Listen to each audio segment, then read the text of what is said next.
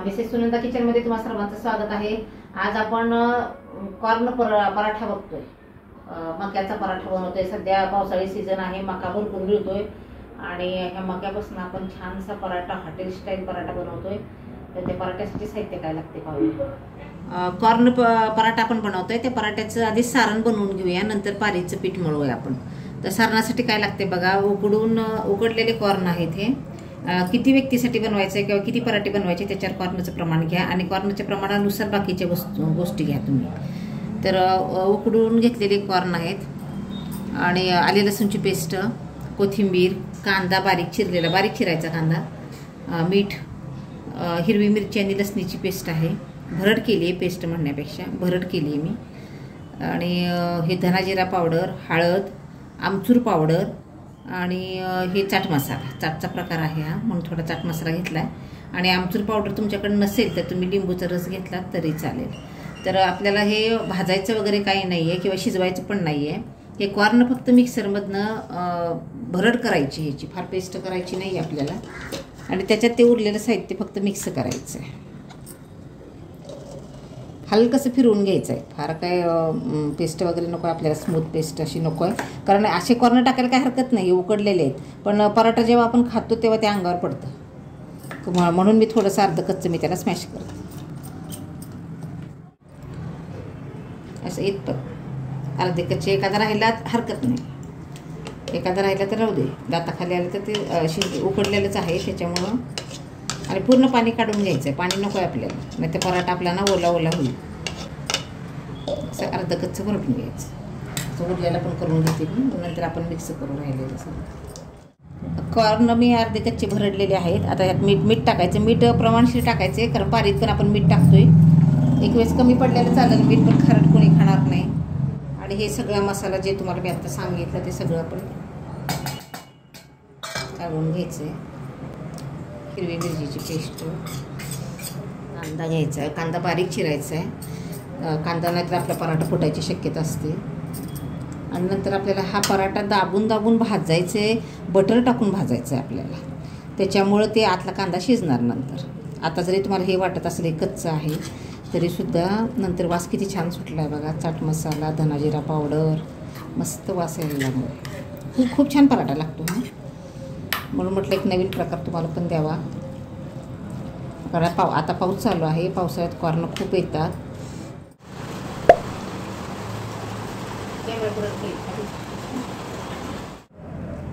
एक चमचा बरं टाकूया म्हणजे अजून थोडं स्पायसी होतं ते.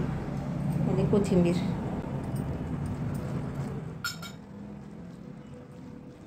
हे असं मिश्रण आपण बाजूला ठेवू आणि आता पारीचं मळूया. कारण थोड्या थोड्या वेळ एक वीस मिनटं तरी तो डो भिजला पाहिजे म्हणजे सॉफ्ट होतो. तर हे आता बाजूला ठेवून देते मी सगळं. हिरवी मिरची नसेल लाल लाल मिरची पावडर टाकली तरी चालेल कारण लाल मिरची पावडर आपण डोमध्ये टाकणार आहोत. मग हिरवी मिरची आत टाकली तर ते कॉम्बिनेशन दिसायला सुंदर दिसतं ते. नंतर पराठाच्या वेळा जेव्हा आपण कट करणार तेव्हा एकदम भारी दिसतं ते. पराठ्याचा डो मळतो आहे आपण सारण झालेलं आहे आपलं. आणि ह्या वाटीचं प्रमाण घेतलं आहे मी. दोन वाटी कणिक घेतलेली आहे. आणि दोन वाटीला अर्धी वाट मैदा मैदा घेतलेला आहे. मीठ लाल मिरची पावडर ओवा पीठ मळण्यासाठी आपल्याला पाणी लागेल आणि एक चमचाभर तेल टाकायचं आतमध्ये जेणेकरून पराठा जरा खुसखुशीतपणा येईल आणि जर का तुम्हाला कणिक नको असेल हॉटेल स्टाईल बनवायचा असेल तर पूर्ण मैदा घ्या तुम्ही. पण मैद्याचं ना आमचं फारसं काही जमत नाही. त्याच्यामुळे आम्ही पूर्ण कणकीत केला तरी चालतो पूर्ण मैद्यात केला तरी चालतो. तुम्हाला कसं बनवायचं तसं बनवा. आधी पिठं चाळून घ्यायची आणि मग बाकीचं सगळं उरलेलं साहित्य त्याच्यात टाकून द्यायचं. किती लोकांसाठी बनवत आहे किती पराठे बनवत आहे त्याच्यावर पिठाचं प्रमाण घ्यायचं आहे आणि जरी राहिलं तरी स सरळ साध्या चपात्या लागल्या तरी चांगल्या लागतात त्याच्या असं काही नाही की सारण संपले आता ह्या पिठाचं काय करू असं काही नाही आहे लाल मिरची पावडर टाकायची थोडीशी. कलर चांगला येतो आहे आपण मिरची टाकली आहे सारणात मीठ आता आपण तिकडं पण टाकलेलं आहे त्याच्यामुळे मीठ जपून टाका. ओ असं हातावर क्रॅश करायचं आहे आणि मग टाकायचं. छान वास येतो आणि एक चमचाभर तेल टाकायचं. बटरमध्येच भाजायचं आहे आपल्याला. पण थोडंसं टाकलं तर सॉफ्ट आणि वरनं क्रिस्पी होणार बटर लावल्यावर. आतून खुसखुशीत. पारी चांगली होते. तेलाचं प्रमाण खूप कमी आहे. म्हणजे जसं लो कॅलरी आणि डाएट असा हा पराठा आहे. पोट पण भरतं आहे मी. त्याच्यामुळे ज्यांना वेट लॉस करायचं त्यांनी हा पराठा खायला काही हरकत नाही. आत्ता तेल टाकलं आहे आपण एवढंच तेल आहे त्याच्यामध्ये. आणि बटर तुमच्या मर्जीनुसार लावा. थोडं बटर लावलं तरी क्रिस्पी होतो पराठा. नॉनस्टिकवर करायचा. म्हणजे मग कमी बटरमध्ये चांगला दाबून दाबून भाजायला लागतं त्याला. छान सैलसर असा डो मी मळून घेते हा डो आपला मळून झालेला आहे वीस मिनिटात ह्याला रेस्ट करायला ठेवायचं आहे नंतर आपण पराठे करू. डो आपला छान भिजलेला आहे. आणि आता बटरमध्ये भाजायचं हे बटर मी घेतलेलं आहे. थोडंसं तव्यावर ठेवते. तवा तापलेला आहे गरम होईल थोडं. असं नाही लावू शकत ते बटर आपण. आणि साधी चपाती लाटतो तसं आपल्याला. चपाती लाटायची त्याची. फार जाड नाही करायचं. कारण मैदा ह्याच्यामध्ये पातळ जेवढं खुसखुशीत तुम्ही पातळ लाटता तेवढं खुसखुशीत चांगलं होईल. चपातीसारखी चपाती सरळ साधी पोळी लाटून घ्या. टिफिनसाठी हा अत्यंत सुंदर असा प्रकार आहे. टिफिनला मुलांना तर खूपच आवडतं. असं गोल लाटायचं. आणि सारण भरताना आपल्याला मध्ये जे आपण सारण बनवलं आहे ते त्रिकोणी आकारात भरायचं. असं त्रिकोणी करायचं ह्याचं. त्रिकोणीच फोल्ड करायचं. जरा जास्तच भरूया आपण. वाटलं पाहिजे हेवी पराठा आहे. त्यानंतर भाजताना स्प्रेड होतं आपण आपण प्रेस करून भाजणार आहे त्याला उलटण्याने. त्याच्यामुळं छोटा मोठा आकार तुम्हाला हवं तसं करा. त्याला फोल्ड करायचं आपल्याला. थोडंसं जागा ठेवून असं ठेवायचं आहे कारण प नंतर स्प्रेड होणार आहे ते सारण. असंच नाही राहणार. असं ठेवायचं आणि ह्याच्यामध्ये पाणी लावायचं जरा. चांगलं स्टिक होण्यासाठी. पाण्याचा वापर करायचा. म्हणजे मग ते सुटणार नाही पारी आणि बाहेर सारण येणार नाही. ह्या बाजूला पण तेच करायचं आहे पाणी लावायचं असं. पाणी लावल्यामुळं स्टिक चांगलं होतं. थोडंसं हा कमी करू आपण पॅक करूया व्यवस्थित पॅक झालं पाहिजे. कडा आपण पातळ लाटले आहेत त्याच्यामुळं क कडा वरच्या वरच्या भासले तरी खमंगपणा त्याचा तसाच राहणार. आणि हा पराठा आपल्याला भाजायचा आहे. थोडंसं बटर लावते आधी इथं.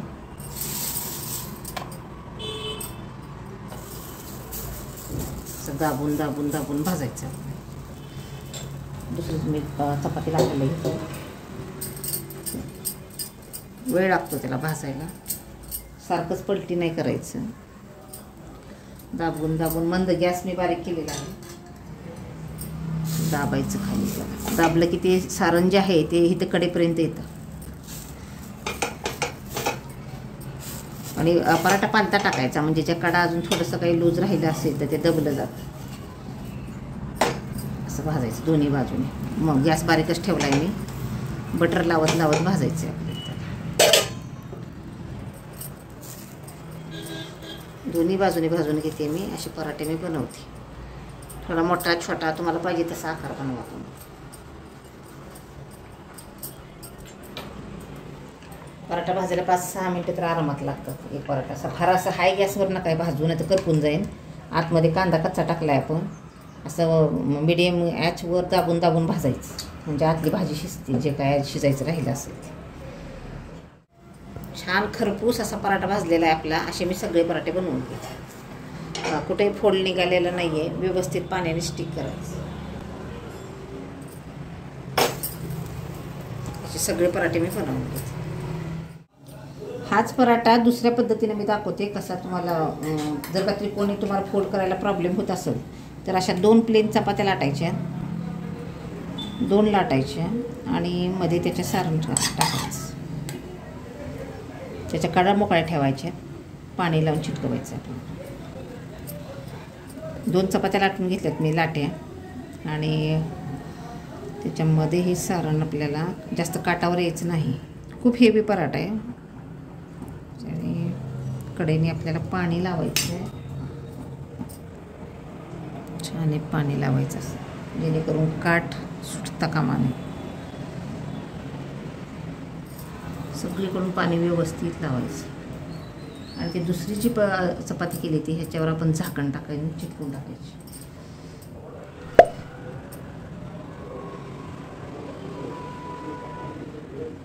दोन्ही चपात्या सेम लाटा म्हणजे मग पोळी करायला बरं पडतं ते. चिटकवायला बरं पडतं ते एक चपाती मोठी एक छोटी केली तुम्ही तर मग सगळंच गोंधळ सारण बाहेर येऊ शकतं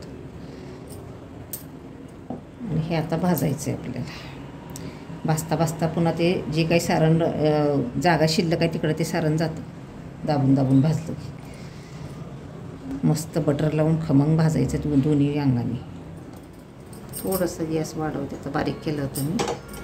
म्हणजे जेवढं आपण सारण केलं तर त्यात हा मोठा पराठा ते दोन त्रिकोणी झाले आणि अजून एक छोटासा होतो असे पाच पराठे झाले. तेवढे पुरेसे आहेत आम्हाला. आता दोन्ही अंगाने बटर लावून भाजायचं. जेवढं आपण पीठ घेतलं होतं सारण बनवलं होतं त्यात हे तीन त्रिकोणी पराठे आणि एक डबल गोल पराठा बनवला आहे आपण. तर आता आपण प्लेटिंग करतोय. हा छोटा मी तुम्हाला कट करून दाखवते.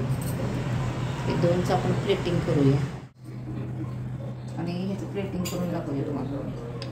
कट करते का आतमध्ये खूप सारं असं मस्त दिसतं. आणि पोट भरायचं आहे बटर लावले म्हणल्यावर मुलांना काय विशेष संपला त्यांचं.